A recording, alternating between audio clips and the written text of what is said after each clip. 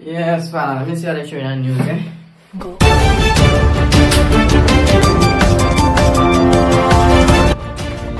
Morning, babes. Morning, morning. Morning, baby. Hey.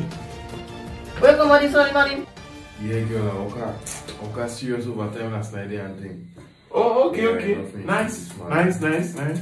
I buy, I buy groceries and thing. I buy ham. I buy that kind of thing. Okay, that's good, that's good. So, but I want you to watch now. I want to watch you lose. Yeah, yeah, sell it, sell it. Only that, my friend them nuts. Mm-hmm. Breaking news. Yesterday at bright, bright, bright daylight, someone robbed MoneyGram in a very polite way.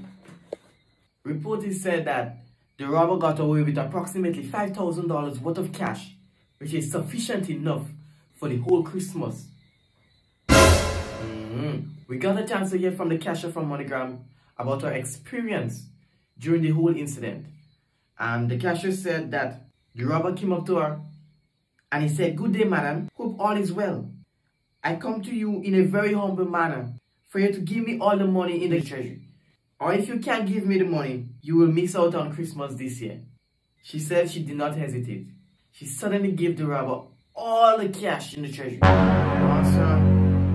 Cashier also said when the robber finished collect all his money, he said Merry Christmas and a robbery New Year. The officer says if anybody have any information as to who the robber might be, please contact them at 911.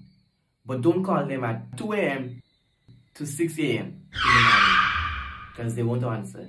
They, they will be off duty. So they say don't don't call them around this time. They, they, they're sleeping. They're sleeping in the police station. So yeah, so if you got any information to give to them, you call them, but just know the timing, you understand? You know, that kind of thing. Ah, yeah, Jesus is Yeah. Lord!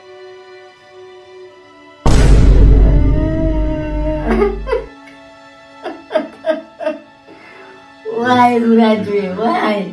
I'm worried think? Ah. You know I like prison bread. That not me, not me, I did. Not me, I did.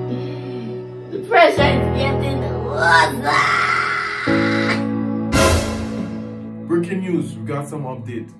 We were told that the robber also stole a ham and some extra groceries. Um, that's some information that you need, you know, to know exactly who the robber is. Babes, listen to me. Listen to me.